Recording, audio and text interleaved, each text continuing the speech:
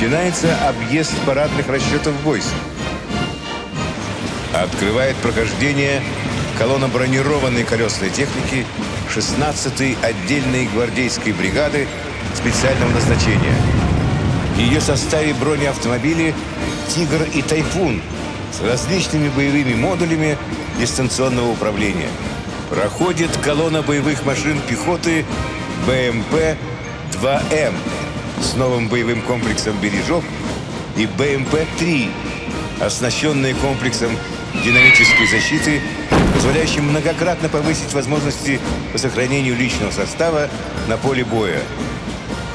Ка-52 «Аллигатор». Ведущие группы полковник Василий Клещенко.